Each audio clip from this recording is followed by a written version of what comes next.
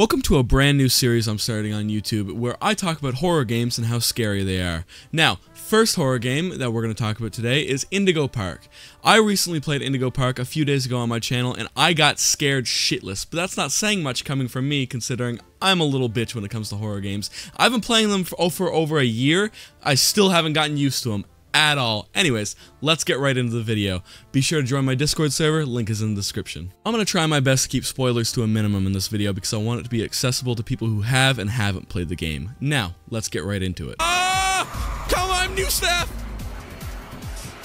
Shit, shit, shit, shit, get me in, get me in, get, get, get, get me the fuck in! Indigo Park is a very short game ranging 20 to 40 minutes depending on how fast you are and depending on what you want to see. There are a few collectibles to pick up during the game. Anyways, it follows a dude in an abandoned amusement park with his only friend being an AI companion, Rambley the raccoon. It's one of those games I like to call all sizzle, no steak, and the reason for that is because you're not in any real danger for a very large portion of the game, which isn't necessarily a bad thing. The very scary atmosphere and the use of lighting and background noise is extremely well done, which means it doesn't really need actual danger to be scary, and which is very impressive if you think about it. However, there are real dangers throughout this amusement park, real threats, and I'm going to try and explain to you in the best non-spoilerish way possible what they are and on what scary level it can be. Now, you may be wondering, is there jump scares in this game? And here's the thing. The developers of Indigo Park has made it very easy and accessible for people who are dog shit at video games and good at video games to have a fun experience.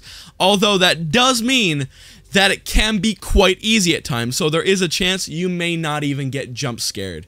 However, I do think this game sets a very good tone for it still being absolutely terrifying. If you are a horror game veteran, I find there are a lot of tropes used in this game that probably won't end up working on you, such as characters peeking around corners, lighting going out, or different sound effects banging and clanging away in the background. That may not necessarily work as well on you, however, sure did work on me. Be sure to take that with a grain of salt as I'm one of the most timid people of all time when it comes to horror games, which is why I think this game will be a lot scarier to beginner horror players rather than veteran horror players. However, I do think there's a lot of scary moments that can get horror veterans into it and terrified just as much. One thing about horror games that elevates them so much is the character design and the look of the threats within them. However, that is something Indigo Park doesn't have as much of. Uh, games like Five Nights at Freddy's 4 or The Joy of Creation, those have some of the scariest horror models of, of animatronics or characters that I've ever seen in my entire life. I don't know why those were two Five Nights at Freddy's examples. However, I do play a lot of Five Nights at Freddy's, so whatever. But still, two very great examples of horrifying horror game villains.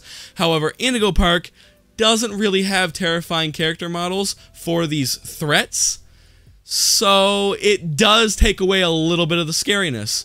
But that's not saying much when the atmosphere does add a lot to the scariness on its own that the game can still be scary, but not scarier than like the joy of creation. Uh, why is that the scariest game I can think of? I feel like I've played scarier games. I'm just saying the joy of creation because I was too much of a little bitch to get through the joy of creation. What's a scary? Do I even know scary games? I can't think of any other scary game but the joy of creation. uh, I'm rambling on now. Um, okay. As you make your way throughout the amusement park, you will be met with challenges and puzzles, which are fairly easy in difficulty. I wouldn't say they're very hard at all. I'd say most people can get them done in at least like a few tries, but it's okay if, you know, it takes you a while.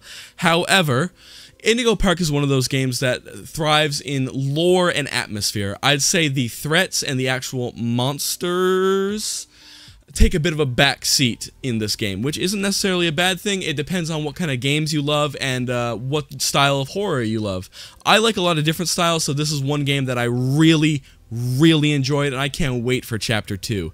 Anyways, without further ado, what rating out of 10 do I give this game on a scariness level? Not on how good the game was, not any of that, how scary it was. Purely that. I give it a 6 out of 10. Is the game scary? Yes, absolutely. However, it's not nearly the scariest game I've ever played, and I was able to get through it with ease. Did I scream a few times? Absolutely, and I am pretty certain you might as well. Certain and you might are kind of contradictory to each. Should I? No. Thank you so much for watching. I know this video was a bit short. Indigo Park is a short game.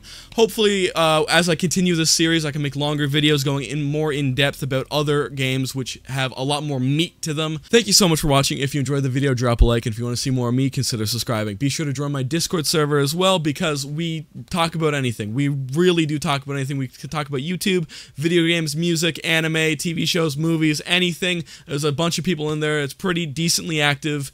And uh, yeah, see ya. Thank you so much for watching.